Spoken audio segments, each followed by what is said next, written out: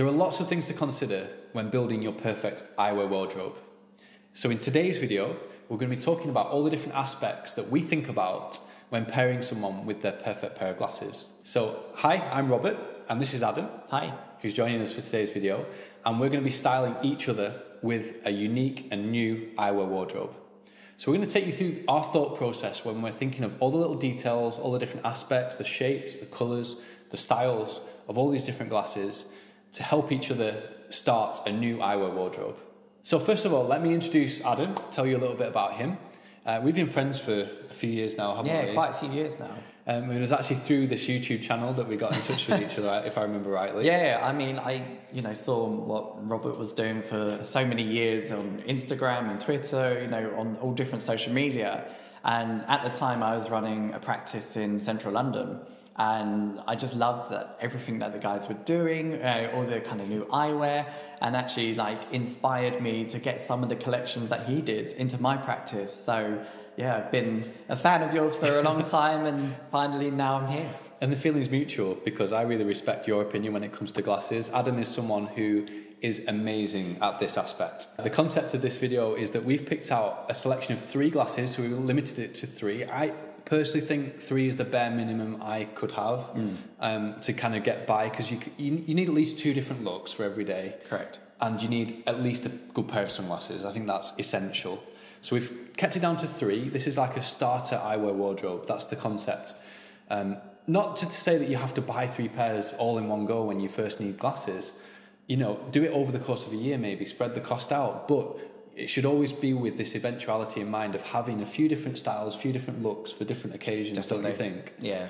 I think, you know, so many people have in their mind that you pick one pair of glasses and that's it. Yeah. You know, and they have one style for so many years. But, you know, for me, it, you know, you don't wear the same pair of shoes every day. You don't wear the same pair of shoes for every occasion. So your eyewear wardrobe should equally be the same thing. And the right glasses, it's not just down to face shape, is it? As a lot of people seem to think. In fact, face shape has almost nothing to do with it, in my opinion. I think so, yeah, definitely. Over the years, you know, when I first started having training, you know, with optical and sun, you know, we were taught so much about face shape and coloration. It does play a, a little part into it, but ultimately, I think it's really important just to get to know someone and get to know what their style is. Hundred percent. It's all about personality, really, and, and, and an individual sense of personal style as well.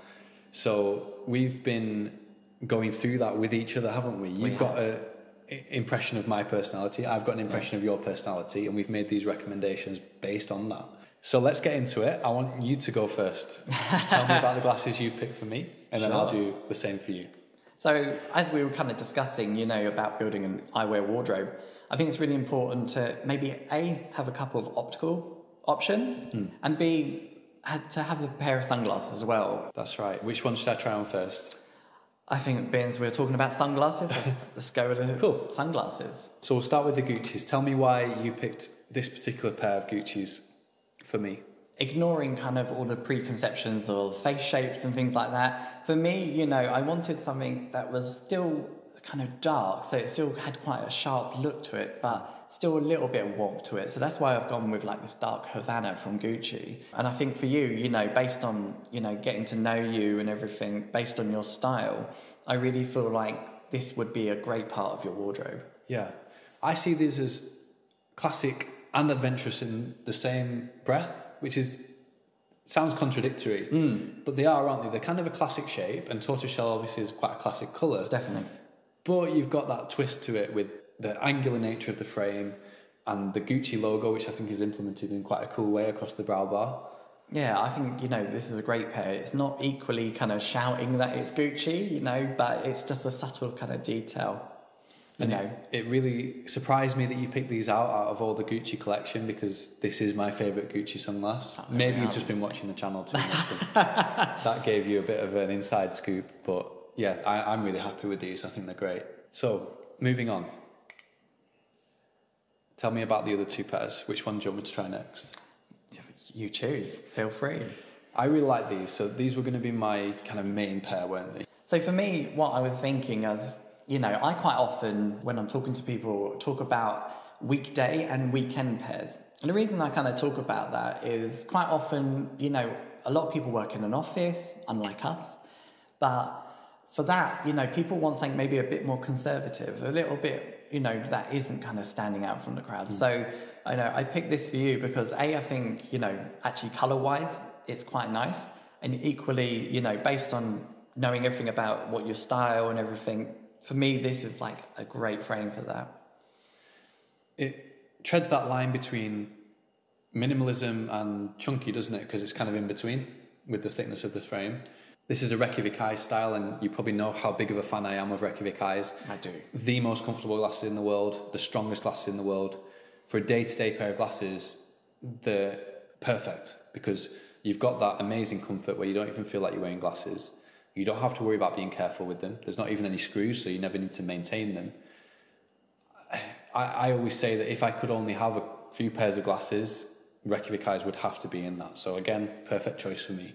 And this is this is the Carl, um, squarer shape than I would normally choose. I usually like softer shapes or rounder shapes, but this is quite bold at the same time, isn't it? With it being so square, and I do quite like that. So thank you for getting me out of my comfort zone when it comes to that. No, definitely. I think you know that it's important because even though it's a little bit more muted and it's a little bit more subtle, equally it still takes you know it's still eye catching, and that's what's really important when I'm styling someone is I want it to be eye catching without necessarily be attention seeking. I mean, it'll be a different case when we come on probably to mine because I'm probably a bit more attention seeking. Mm-hmm. But when I'm styling someone, generally I want that to be a talking point. So equally, if he's sat in the office and there's 100 people in the room, I want him to be standing out with this pair. Tell our viewers about what lenses you were going to suggest for these? So, what I'd really recommend with these is to have something like the Photo Fusion with the jade on top. You know, the reason I would recommend that is because then it gives you the versatility. If you're going out onto your lunch break, for instance, then you know you don't have to keep changing over from sun to optical. You know, they'll just change, transition into a nice jade mirror. And I like the thought of having one clear, which we'll get to, one sunglass, and then one hybrid, which exactly. is essentially what these would be.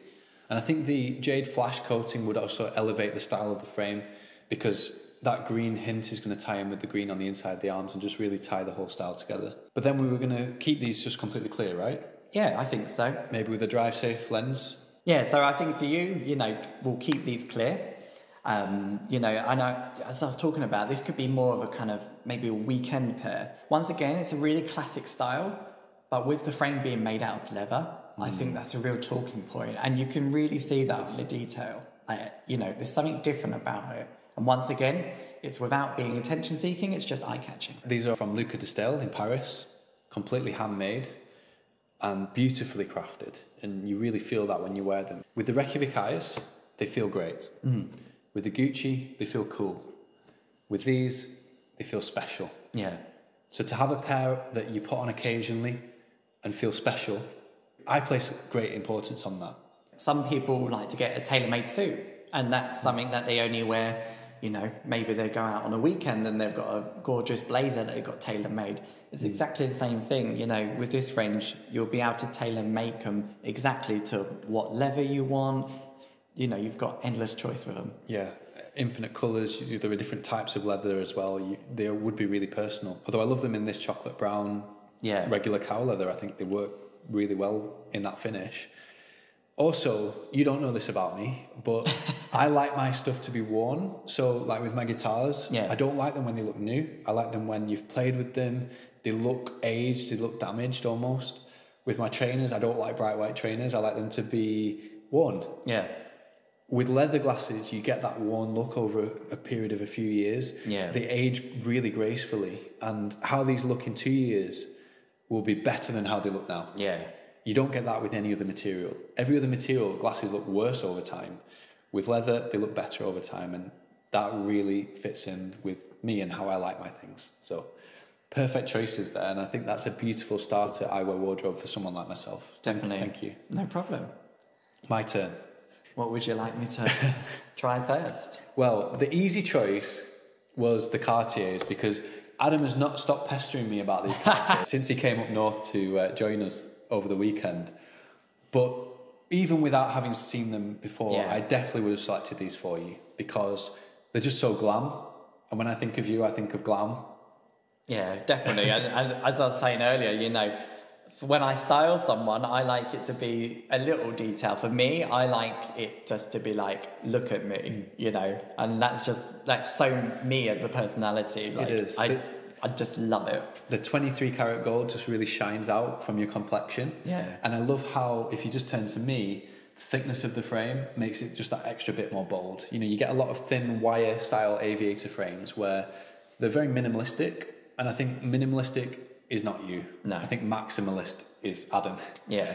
Um, if it's bright and shiny, count me in. Hundred percent. So to even bring that more to the forefront, we've got the blue and beyond lenses, which transition from this kind of blue tint inside. Well, it's actually a grey tint with a blue mirror inside, to a blue full mirror when you're outdoors in the sun. And you were saying to me about just keeping it with that level of tint all the time, but I'm making you have the blue and beyond because it just gives you that extra versatility. Remember, in this scenario where you've only got three pairs of glasses, True. we need to get the most out of each pair. That would be your hybrid pair, which is a cool pair of sunglasses and a cool pair of glasses. And I just think they're tremendous. They fit you perfectly as well. Yeah. What I really noticed that, you know, even though it's a slightly chunkier kind of metal frame, is actually they're pretty, to me, they're pretty lightweight. Hmm. And maybe, you know, it fits perfectly for me, but actually they're not uncomfortable whatsoever. But whilst I love these Cartiers, they're actually my secondary choice because for everyday wear, again, I've chosen a Lucas de Stael pair. So whereas my Lucas de Stael were the weekend pair or the secondary pair, I think this is going to be a primary pair. I think you could wear the gold all the time, but it might be a bit much for some situations. These are still very extra, Yeah. but toned down a little bit in the black colour. So this is a Lucas de Stael finished in Stingray. But to finish off this look, we're going to go with a tint. We're going to go with a graduated tint we discussed didn't we, Yeah. with the Pioneer finish. So that's a grey-green colour. We also experimented with blue. We thought about it in principle, but in practice, not so No. good. So the Pioneer from 25% to zero with the anti-reflective coating was just perfect and really completed them. Yeah, I've always been a fan of Stingray leather. I think actually over the years we've kind of even talked about it. We so, you know, once again, getting to know that person, to know that little fact about them, that I love Stingray leather is like great choice then, you know, to be able to lead me towards this pair. Mm. And once again, just talking about like the fit is absolutely perfect. And they're so comfortable, so lightweight. You know, to wear this as an everyday pair, once again, I think it comes back to almost how I styled you that it catches someone's eye rather than being completely sort of attention seeking like the Cartier. Indeed. You know, but for an everyday pair, definitely I agree. I know you're obsessed with the Cartiers. They are cool, but the teardrop shape I think is even better for you. Yeah. And to finish off Adam's eyewear wardrobe, we've gone for the Reykjavik Eyes Katzler, 18 karat gold plated, gold edition series. It's all about the gold for you, isn't it? It but is. you wear a lot of gold jewellery, so it's going to tie in with that. Exactly. Now, these have a kind of yellowish mirror, which is fabulous, but we're going to tone that down slightly with a regular gold mirror. I think that'll just be a bit classier, personally. Yeah.